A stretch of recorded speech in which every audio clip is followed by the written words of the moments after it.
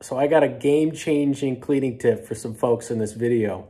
Uh, some of you might not know about this, but some of you need to know about this because how many of you live in a 100-year-old house with one of these old glass doorknobs, maybe the doorknob's metal, but it's all grimy and, and dirty. And to be candid, I, I used to paint over these things. So you know, I go to a 100-year-old house here in Cleveland and rather than uh, try and clean it up, I just paint it. But I'm going to show you how super fast using just, what we got here?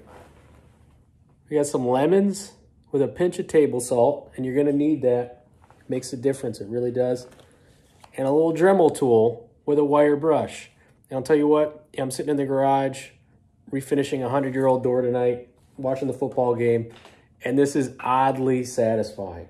So all you really do is wipe the lemons on the door handle, on the brass that you need to polish, and uh, apply that Dremel with the wire brush at a low speed, and it comes right off.